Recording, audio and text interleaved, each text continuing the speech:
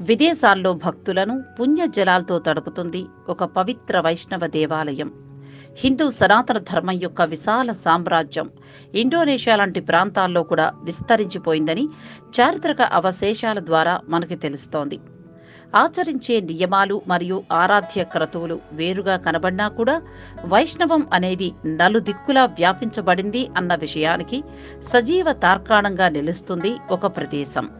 అదే పురతీర్థ ఎంపుల్ బాలి ఇండోనేషియాలో ఉంది ఈ క్షేత్రం. తాంపాక్సరింగ్ అనే పట్టణంలో జలం తీర్థాలో ఉండే ఈ ప్రదేశానికి ది హోలీ డిప్ అనే పేరు కూడా ఉంది. విదేశీ సందర్శకుల తాకిడి ఎక్కువగా ఉండడంతో ఈ ప్రదేశానికి ఆ పేరు వచ్చిందని తెలుస్తోంది. పదవ శతాబ్దానికి చెందిన వర్మదేవరాజ వంశ వ్యవస్థాపకకర్త శ్రీ కేసరి వర్మ కుటుంబ సభ్యుల ద్వారా నిర్మించబడిన ఈ ప్రదేశం హిందూ సనాతన ధర్మంలో కోట్లాది మంది భక్త జనంతో నిత్యం పూజింపబడే ఆది మహావిష్ణువుకు అంకితం చేశారు అంటే దాని ముఖ్య ఉద్దేశం భక్తులు పవిత్ర స్నానాన్ని ఆచరించడానికి ఒక దైవిక కళాక్షేత్రాన్ని నిర్మించటం. ఇలా చేయటం వల్ల భక్తుల్లో దైవభక్తి పెరగడమే కాక నీటి వల్ల మనుషులకు కలగవలసిన సద్గుణాలను వారికి అందజేయడమని అభిప్రాయపడతారు. తద్వారా వారికి చెందవలసిన ఔషధ గుణాలు ఇంకా శరీరంలోని ముఖ్య గ్రంథులలో చెలరేగే సానుకూల శక్తి అంటే పాజిటివ్ ఎనర్జీని పెంపొందించడమేనని వారు అభిప్రాయపడ్డారు. ఈ ఆలయం గురించి కొన్ని ఆసక్తికర అంశాలను తెలుసుకుందాం. రండి. హోలీ స్ప్రింగ్ వాటర్ అని చెప్పుకునే ఈ నీటిలో ఉండే ఔషధ గుణాలు మరియు నేచురల్ హీలింగ్ ఫీచర్స్ వల్లనే అప్పటి ప్రజలు చాలా చిలాకీగా ఉండేవారని ఇండోనేషియాలో వైష్ణవంపై పరమ భక్తి భావన నెలకొల్పడమే కాక దైవ చింతనకు యువతీ యువకుల్ని ప్రేరేపించడంలో ఈ ప్రదేశం అప్పటి రాజ్య వ్యవస్థలో బాగా ఉపయోగపడుండొచ్చని అభిప్రాయపడతారు ఎందరో చారిత్రక నిపుణులు. అసలు ఈ ప్రదేశానికి పురతీర్థ ఎంపుల్ అనే పేరు రావడానికి గల ముఖ్య కారణం అక్కడి జలమూలకం అంటే వాటర్ సోర్స్.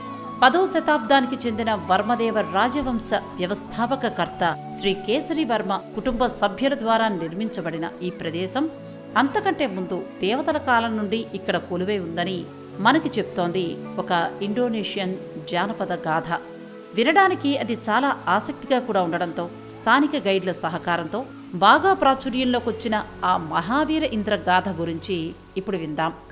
బాలింకాంగ్ అనే రాజ్యాన్ని పాలిస్తూ గండరగండుడిగా పేరు పొందిన ఒక గుత్తాధిపత్య చక్రవర్తి మాయా దేనావాకు అమోఘమైన ఇంద్రజాలిక శక్తులు కలిగి ఉండడంతో తన రాజ్యానికి ఇక తనకు సామంతులుగా ఉండే వందల మంది రాజ్యాధికారులకు ఏ లోటు రాకుండా చూసుకునేవారు. కాని కాలక్రమేణా వక్ర మార్గాన ఆలోచించే తన మహామంత్రి ప్రోత్సాహం వల్ల లోకాధిపత్య కాంక్షతో క్షుద్రోపాసన చేస్తూ ఉండడంతో అతని మీదున్న గౌరవ మర్యాదలు సన్నగిల్లాయి.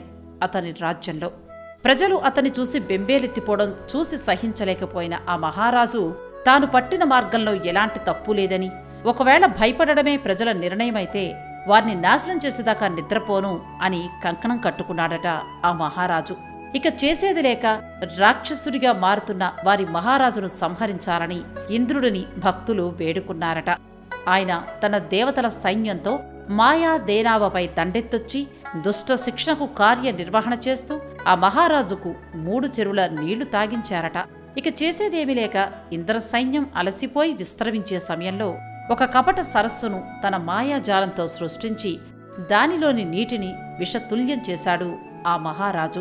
సైనికులు తమ దాహం తీర్చుకునే సమయంలో ఆ మాయా విషజలం తాగి చాలామంది సైనికులు మృత్యువాత పడి ఉండడం చూసి చలించిపోయిన ఇంద్రుడు ఆది మహావిష్ణువుని మనసులో తలుచుకుని తన వజ్రాయుధంతో భూమికి చీలిక చేసి ఒక సరస్సును సృష్టించారని ఆ ధాటికి భూమి జలధరించడంతో తనకి మరణం తప్పదని గ్రహించిన ఆ మహారాజు మాయా దేనావా పలాయన మంత్రాన్ని అనుకున్నాడు కాని ఇంద్రుడు అతన్ని తరుముతూ ఉండడాన్ని గమనించి ఆశ్చర్యపోయి చిత్ర విచిత్రమైన వేషధారణలతో నానా వృధా ప్రయాసలు చేసి చివరకు ఒక పెద్ద బండరాయిలా మారిపోయాడు.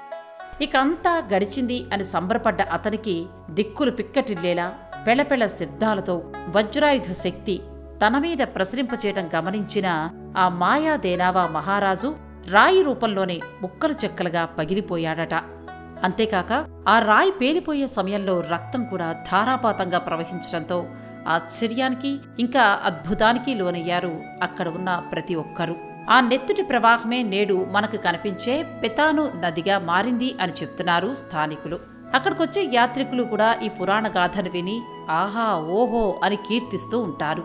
అలా తనవంతు దేవతా పురాణాన్ని మరియు రాజప్రస్థానాన్ని తనలో నింపుకున్న ఈ జలాశయం అంటే వాటర్ టెంపుల్ను చాలా చాకచక్యంగా నిర్మించారు అప్పటి ఇండోనేషియా రాజులు. దీనిని జబాపుర అంటే గుడి ముందు ప్రాంగణం జబాతెంగా అంటే గుడి మధ్యలో ఉండే ప్రదేశం జెరోవా అంటే గుడి లోపలి ఖాళీ స్థలంగా విభజించారు. జబాతెంగా అంటే గుడి మధ్యలో ఉండే ప్రదేశంలో సుమారు ముప్పై నీటి తుంపరలు అంటే వాటర్ షవర్స్ని ఏర్పాటు చేయడంతో ఒకే సమయంలో చాలామంది భక్తులు అక్కడ పవిత్ర పాపనాశన స్నానాలు ఆచరించడం జరుగుతుంది. దీని రెండవ భాగంలో కూడా అలాంటి వసతులు కల్పించడంతో ఎక్కువ మందిని ఒక చోటన కేంద్రీకరించి వారికి స్నానాల సదుపాయాల్ని సమకూర్చగలుగుతున్నారు నిర్వాహకులు. ఈ జబాతెంగా అంటే గుడి మధ్యలో ఉండే ప్రదేశం యొక్క విభజనను రెండు వేర్వేరు పేర్లతో పిలుస్తారు పెంగేలు కటాన్ పెబర్సిహాన్. ఇక మహారాజు మాయా దేనావా ఉద్భవింపచేసిన మాయా విష సరస్సు ఇదే అని చెప్తారు స్థానికులు. దానిని సుదామలాదాన్ పంచూరిన్ సెటిక్ అని కూడా పిలుచుకుంటారు. అక్కడి నీటికి ఈ రోజుల్లో విషగుణం లేదు అని మీరు హాయిగా అందులో జలకాలాడచ్చని చమత్కరిస్తారు వారు. అలా ప్రపంచ ఖ్యాతికెక్కిన ఈ ప్రదేశ విలువను నేటి ఆధునిక కాలంలో ఒక మహా వైష్ణవ క్షేత్రంగానే కాక అద్వితీయమైన విహార ప్రదేశంగా చెయ్యాలి అనే ఆలోచన వచ్చింది. ఇండోనేషియా మొదటి రాష్ట్రపతి కుస్నో సోస్రిడిహార్డ్ జోక్ ప్రపంచమంతటా ఈయనను సుకార్నో అనే పేరుతో గుర్తుపడతారు. ఇక అమెరికా మాజీ రాష్ట్రపతి బరాక్ హుస్సేయిన్ ఒబామా కూడా ఈ ప్రదేశానికి సతీ సమేతంగా విహారయాత్రకు విచ్చేయడంతో ఇంకా పాపులర్ అయిపోయింది. పురాతీర్థ ఎంపుల్. సేరాంగ్ అనే పైవస్త్రం వేసుకుని ధూపదీప నైవేద్యాలు ఇంకా సుగంధ సువాసనలతో నిత్యం రద్దీగా మారిపోతుంది పురతీర్థ ఎంపుల్.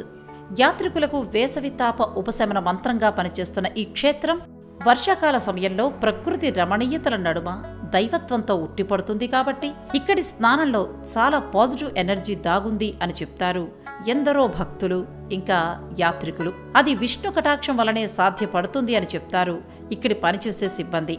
వరల్డ్ హెరిటేజ్ స్థాయి వసతులు ఇక్కడ నెలకొల్పటం ఒక్క ఇండోనేషియా ప్రభుత్వ బాధ్యతే కాదు సర్వలోకానిది అని భక్తి పారవస్యంలో మునిగిపోయి చెప్తారు వీరు. ఈ చోటును దర్శించుకోవడానికి జాతి వర్ణ మత అడ్డంకులుండవని లోకనాయకుడు విష్ణువు కృప అందరి మీద ఉంటుందని ఆయన భక్తి తత్పరతను శ్లాఘిస్తారు స్థానికులు. అలా విష్ణు ధ్యానంతో అటు దైవిక కార్యక్రమాలకు ఇటు ఆహ్లాదభరితమైన శారీరక ఉల్లాసానికి కేంద్ర బిందువుగా మారిపోయింది ఈ క్షేత్రం. ఓం నమో నారాయణాయ. ఇలాంటి మరిన్ని విశేషాల కోసం మా ఛానల్ని సబ్స్క్రైబ్ చేయండి.